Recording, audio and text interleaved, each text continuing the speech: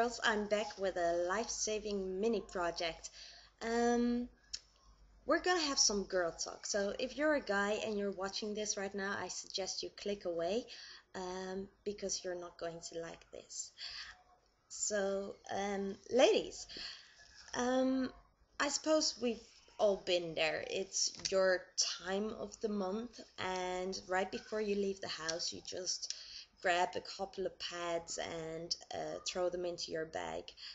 Later on, you're gonna end up at a store or a bar, and once you open your bag, someone's always standing be- beside or in front of you. I don't know how this is, but to me, that that's always the case. Um, you open up your bag anyways, and guess who's smiling back at you from your bag? It's Mr. Happy Pad with big obvious logo.